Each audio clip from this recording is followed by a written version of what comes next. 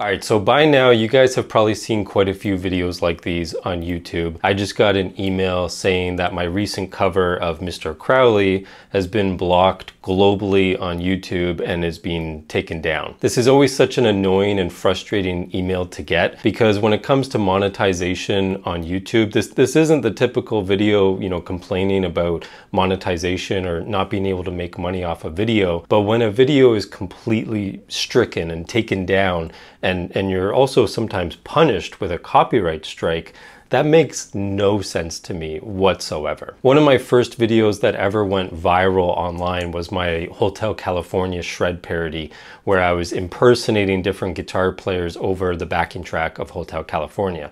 So it's obviously a different take on it. I'm not playing the original solo. It's really nothing like the original song. It's just the backing track. But that was removed off of YouTube and I was given a copyright strike, which is a somewhat severe punishment as a content creator because if you get three copyright strikes, then they can terminate your channel and remove you off YouTube, which again, as a content creator is pretty devastating to your livelihood, your income, and pretty much everything you do. So again, today this is happening with the Mr. Crowley cover, which by the way is still live on TikTok and now Instagram since I joined Instagram this month. So if you haven't joined me there or, checked out the page, come say hi and uh, give a follow and leave a comment. But I do find this happens more often than not on YouTube versus other platforms. I haven't really had this happen too much on TikTok, but it happens on YouTube quite regularly. Now, when it comes to monetization, this is my view when, you know, I post a cover, I post a lot of covers. This is a fun way for me to engage with you guys.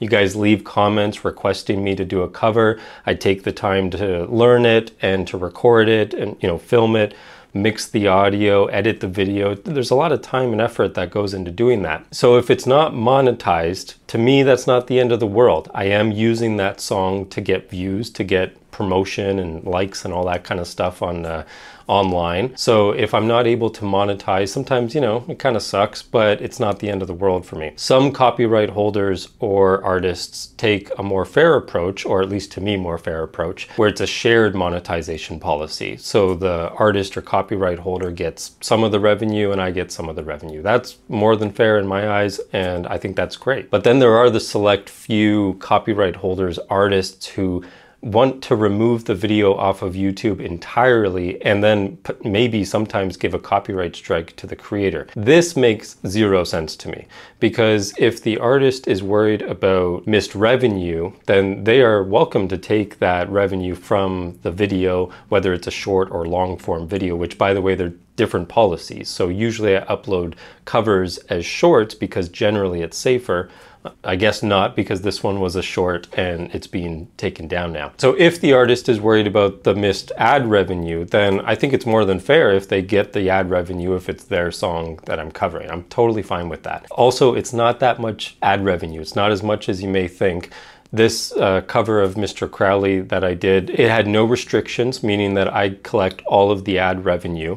And with about 150,000 views, I think it made about 20 bucks, maybe something like that. So again, if I miss out on that, because it's their song. It's not the end of the world. I'm totally fine with that. But again, to remove it from the platform makes zero sense because I bet more often than not, when people watch a cover of a classic song like Mr. Crowley, what they want to do afterwards is go to Spotify or Apple Music and listen to the song or pull up the artist version, like the original version on YouTube, which obviously is being monetized for them, and listen to it and watch it. So I'm not going to say like I'm keeping their music alive because that's ridiculous and that's not the case.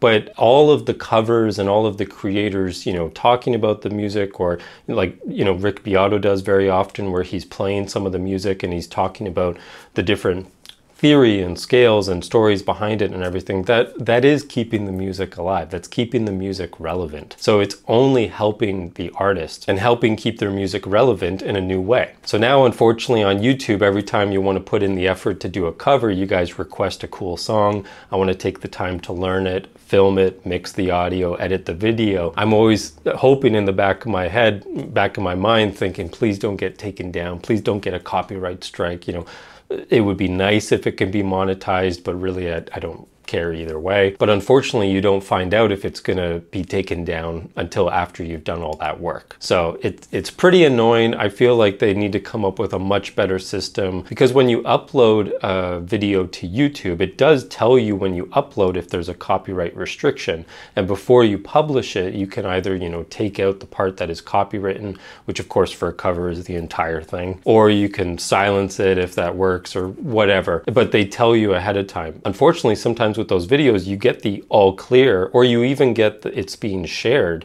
And then a couple months later, like this one, because this video is from a few months back, you're getting punished and it's getting taken down. I assume by a copyright holder seeing the video and wanting it taken down, which again, I know I've said it, but makes absolute zero sense. It does not hurt anybody.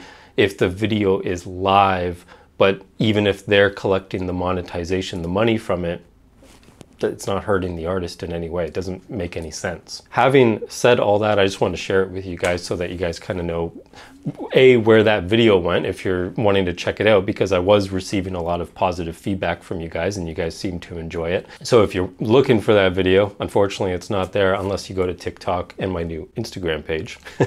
I'm still gonna post covers. I'm getting ready to film one right now with that awesome shred machine back there. And uh, we'll see how it goes. Hopefully it doesn't uh, get taken down, but I just thought I'd share this with you guys so that you know kind of what I'm dealing with. But yeah, stay tuned and uh, I'm looking forward to posting this one. See you in the next video.